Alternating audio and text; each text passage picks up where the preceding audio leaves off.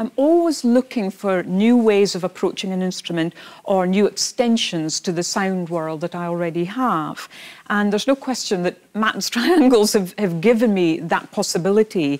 But also, you know, part of the journey is educating composers and, and also, you know, having those moments where you're really asking the audience to observe the sound of a triangle. And that's very magical, actually, because it is amazing how many people may come up and say, I noticed that. You know, I had no idea that a triangle could just be so sensual or so aggressive or so piercing or so present or just so velvety you know and it's very very pleasing when you when you get that kind of emotion across. So, you know, for me, there are different ways of working with the, the triangles. You know, I may scrunch them together.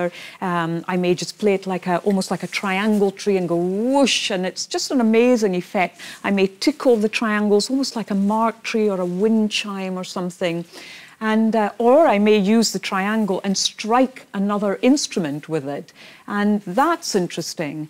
And because um, some of Matt's triangles have grooves in them, you've got another instrument again. You know all the possibilities. So rhythmically, you can really play with that.